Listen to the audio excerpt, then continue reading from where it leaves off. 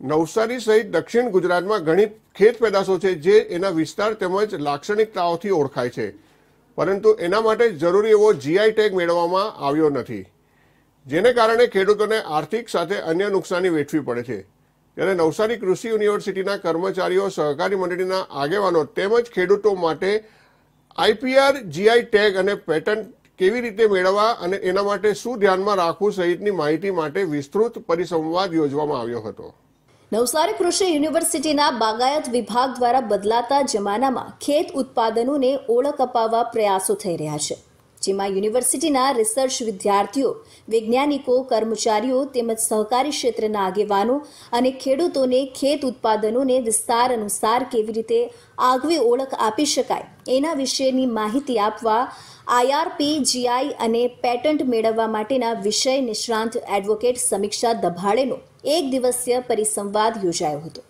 જેમાં સમારંભના પ્રમુખ ડોક્ટર ઝીણા પટેલ તેમજ સંશોધન નિયામક ડોક્ટર વિકાસ નાયકે દક્ષિણ ગુજરાતના ખેડૂતો સહિત કૃષિ યુનિવર્સિટીના પ્રયાસો પછી પણ જીઆઈ ટેગ અને પેટન્ટ મેળવવામાં યુનિવર્સિટી પાછળ રહી હોવાનું સ્વીકાર્યું હતું.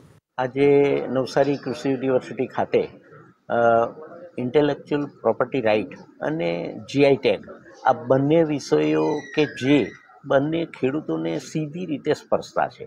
કારણ કે આજે કોઈ પણ પ્રોડક્ટ ખેડૂતની હોય, એ પ્રોડક્ટની કોઈ નામના હોય, કોઈ ખાસિયત હોય, તો એ પ્રમાણે એને એનું મૂલ્ય પણ મળવું જોઈએ.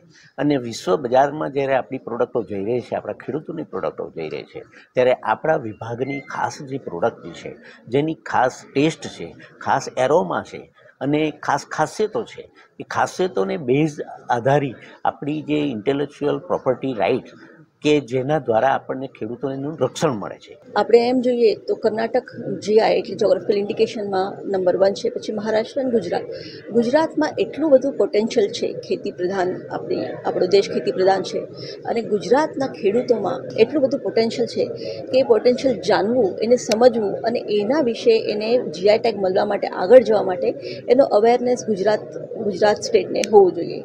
એના માટે હું આજે છું. તો આપણે ઇન્ટેલેક્ચ્યુઅલ પ્રોપર્ટીની વિશે માહિતી લઈ, એના આગળ ગુજરાત સ્ટેટને આગળ આપણે ઇન્ટેલેક્ચ્યુઅલ પ્રોપર્ટીમાં કેવી રીતના આગળ વધારી શકીએ, એની જાણકારી આપીશ. આ સાથે જ આટલા વર્ષોમાં યુનિવર્સિટીના વૈજ્ઞાનિકો પોતાની શોધના ફક્ત બે જ પેટન્ટ કરાવી શક્યા છે.